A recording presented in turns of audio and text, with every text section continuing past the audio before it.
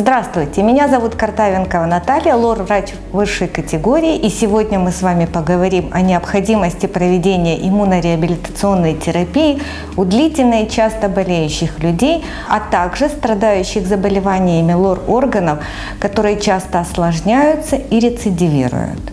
Для начала мы определим термин иммунореабилитация. Иммунореабилитация – это комплекс мероприятий, которые направлены на восстановление работы иммунной системы до ее нормального физиологического уровня. Они могут быть как медикаментозные, так и не медикаментозные. Структурная организация защиты слизистых барьеров позволяет эффективно защищать наш организм и слизистые в целом от воздействия вредных факторов окружающей среды. Иногда в силу целого ряда причин происходит срыв защитных механизмов, и тогда патогенные агенты внедряются в организм, вызывая тем самым патологический процесс.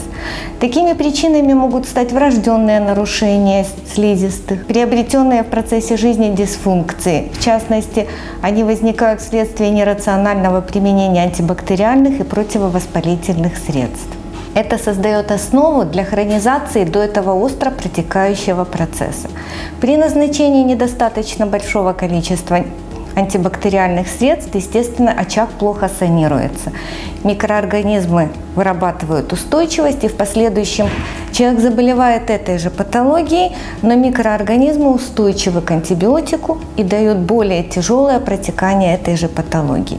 Вследствие же назначения слишком больших доз антибактериальной терапии убивается собственная сапрофитная флора, которая выполняет достаточно важную роль в защите слизистых, так называемый первый барьер защиты. Они продуктами своей жизнедеятельности создают неблагоприятные условия для развития и размножения патогенов. Таким образом, сапрофитная флора играет очень важную роль в формировании первой линии защиты слизистых оболочек. Чаще всего люди, страдающими частыми ОРЗ, болеют не потому, что они заражаются, а потому что Провоцирующие факторы, такие как простуды, переохлаждение, активируют очень бурный воспалительный процесс против своей же нормальной условно-патогенной флоры. В связи с этим становится актуальным вопрос о восстановлении защитных свойств наших слизистых, что возможно при проведении иммунореабилитационной терапии. До свидания и будьте здоровы!